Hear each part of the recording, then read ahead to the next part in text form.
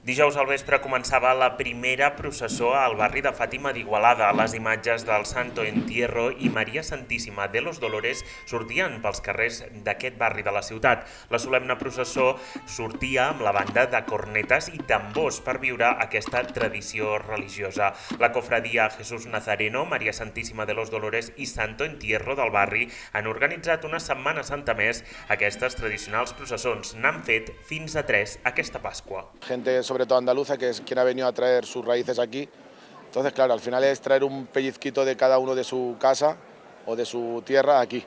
Entonces, claro, esto tiene que ser emocionante. Yo nací aquí ya, también me considero bastante andaluz, porque al final son las raíces que tenemos, pero yo creo que cada uno de nosotros, pues de los que, sobre todo fundadores, los que continúan, que gracias a ellos esto sigue.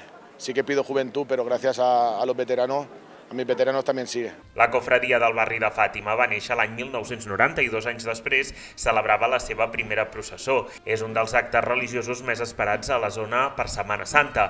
Aquesta cofradia està oberta a tots els veïns i veïnes que s'hi vulguin apuntar, siguin d'on siguin. Aquesta els acull a tots amb els braços oberts. De fet, la tradició de participar en la cofradia passa de generació en generació i agrupa actualment a persones de totes les edats que s'involucren en aquesta festa. Lo que hemos vivido desde pequeñitos, ¿vale? Entonces hemos ido creciendo con nuestros padres, nuestros padres nos han explicado la emoción, lo emocionante que es esto y ahí seguimos.